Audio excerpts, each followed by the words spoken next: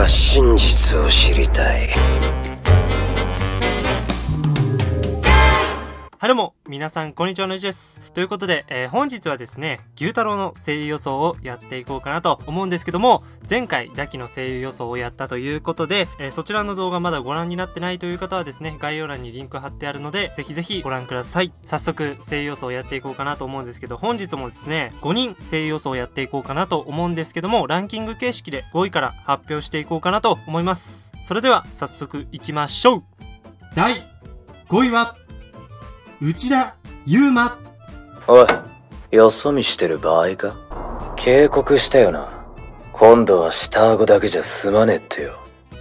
はい、ということでね、えー、この方が演じたキャラはですね、呪術廻戦の伏黒めぐみだったり、フルーツバスケットの相馬京なんかを演じております。はい、ということで、えー、この方を選んだ理由はですね、悪役からかっこいいキャラまで、もういろんなキャラを演じられる、まあ、素晴らしい声優さんだなと、え、思っていてですね、選ばせていただきました。だけどね、ちょっと牛太郎のイメージとは若干違うよねっていうことで、え、第5位にさせていただきました。え牛太郎ね、もうちょっとね、かっこ悪いんだよ。かっこ悪い人がいいから、ちょっとかっこいいからね、第5位にさせていただきましたということで、え第4位行きましょうか。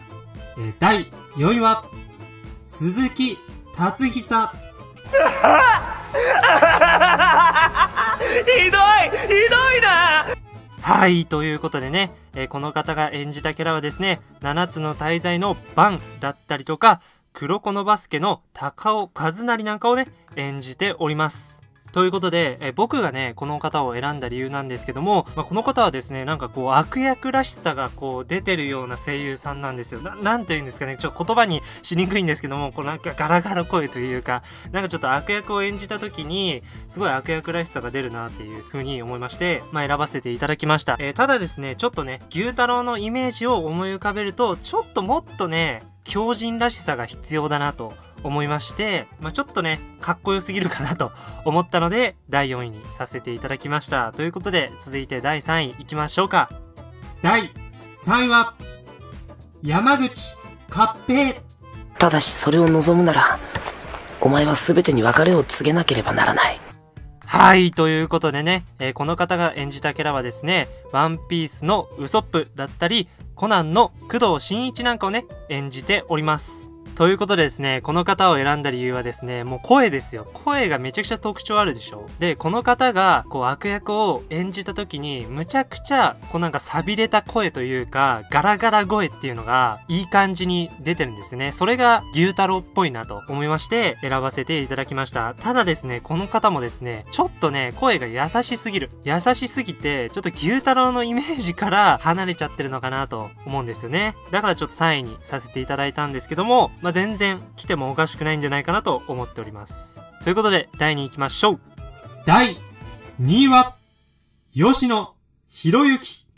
人を殺す覚悟もなく軍の犬になったのですか？俺たちがサッカーをするのは、監督のためじゃない。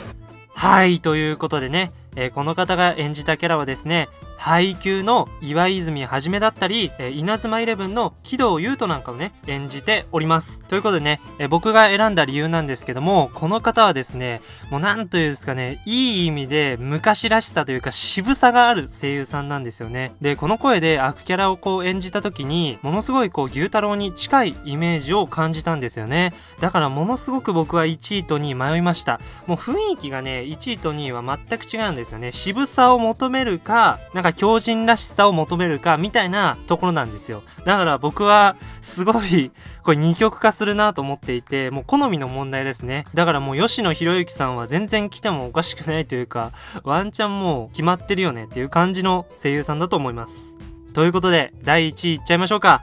第1位は、津田健次郎。群れるだけの負け犬に切り札を使うわけにはいかねえ。ダークヒーローだよ。はい、ということでね、えー、この方が演じたキャラはですね、永遠の消防隊のジョーカーだったり、呪術廻戦の七海健人なんかをね、演じております。えー、ということでですね、僕さっき迷ったって言いましたけども、いや、本当に迷いました。もうこれはね、好みの問題だと思うんですよ。強靭らしさを求めるか、渋さを求めるかっていうところだと思うんですけど、僕はですね、こう漫画を再び振り返って読んでみた時にですね、やっぱ牛太郎っていうのは、すごく、こう、怪事みたいなね、生活をして、まあ、それで鬼になったっていう、もう本当に悪の悪というか、もうね、もうものすごくこう、狂ってるような感じの鬼なんですよね。だからね、もうものすごく怪事みたいな、こう、藤原達也みたいな、ああいう演技が必要なんですよ。で、そういう演技ができるって言ったら、もう津田健次郎しかいなくねみたいな。ふざけんなよみたいなね、あの、藤原達也みたいな、もう藤原達也でいいんじゃないと思ったんだけど、俺ね、声優さんじゃなかったらワンチャン藤原達也、もう実写化だったら藤原達也でいいだろうみたいな感じでね、もう藤原達也みたいな声優さんがこういいと思ったんですよ。まあそういう演技ができる方がいいと思ったんですよ。で、こう振れ幅が広くて、ものすごくかっこいいキャラと強靭キャラを使い分けられると言ったらもう津田健次郎でしょうということでね、もう永遠の消防隊のジョーカーとかめちゃくちゃかっこよすぎるけど、悪役にはかっこよすぎるけど、まあでも、この方だったら演じきれるでしょ。牛太郎。っていうことで、ちょっと牛太郎ちょっと難しいね、多分ね、声優さん演じるの。難しいと思うね、俺も。結構これ、だって藤原達也みたいな、もう狂ったようなキャラだからさ、津田健次郎さんですらちょっと演技むずいんじゃないのと思っていますね。だから予想もちょっと難かったですね。ということで、まあ僕個人的に津田健次郎が大好きだということで、あの、好みの問題言ってたんですけど、第1位にさせていただきました。え最近ね、極主不動なんかもね、ネトフリで配信されて、えそれの主人公が津田健次郎さんだったんですけど、やっぱり大好きなんだよね、津田健次郎の声。まあ呪術廻戦の七海健人なんかもね、まさしくそうだったんですけど、いや、本当に大好きなんだよ。津田健次郎の声聞いてるとね、お前、何をした？いやー、だからね、もうほんと津田健次郎さんに来てほしいですね。国志望の声優予想なんかでも僕は津田健次郎をランキングに入れさせていただいたんですけども、僕は牛太郎の方が津田健次郎に合ってるんじゃないかなと思いました。まあ、どっかしらで来ると思うんですけどね。えー、はい、ということでね、皆様いかがだったでしょうか？えー、皆さんはどの方が来ると思いますか？ぜひぜひコメント欄で教えてください。はい、ということでね、次回はですね、なんと、遊郭編の特集をやりたいと思います。ということでですね、鬼滅の刃ファンは絶対に次回の動画見てください。ということで、皆さん高評価、チャンネル登録、コメントよろしくお願いします。ということで、また次回の動画でお会いしましょうバイはい、ということでですね、えー今日も雑談やっていこうかなと思うんですけども、今日はですね、馬娘プリティダービーのちょっとお話をしていこうかなと思います。ということで、ちょっと噛んじゃったんですけど、思います。ということでね、えー馬娘のお話をしていこうかなと思うんですけど、今流行りの馬娘、僕はついに手を出せましたよということで、ずっとね、あのーアニメとかね、見ずにいたんですけども、やっと見ましたよということで、馬娘の第1期のね、アニメを見たんですけど、むちゃくちゃ面白かったんですね、それがね。もう予想していた5倍はおもろかったよということで、ほんとね、皆さんね、馬娘ね、あー見てほしいですね。ちょっと足ぶつけたんですけど、あのー馬娘ね、あのー本当にね、予想して5倍面白かったって言うんですけど、まあちょっとこれ説明するのは難しいんですけど、まあ要は、まあ、実際にあった、あの、馬の話を元に作っているアニメなんですけど、僕が今回この馬娘見てて、特におもろかったなと思うのはですね、レースですね。レースが本当に面白かった。僕は競馬のこととか何にも知らなかったんですけど、あの何も知らないというかもうほとんど知らなかったんですけども、それでもレースにこう入り込めるというか、ライブ感あるというか、もう本当に一緒に、もう本当に一緒にその場にいるキャラクターたちと一緒に 熱狂できる、そんな感じのレース展開だったし、盛り上げ方とかね、ものすごく上手かったし、面白かったなと思いますね。もう本当にね、見ていて楽しかったというか、気分良くなりましたね。なんかちょっと薬物みたいだけど、気分良くなりましたね、みたいな。あのね、薬物みたいですけど、あの本当にね、あの、見ててちょっと楽しかったんですよね。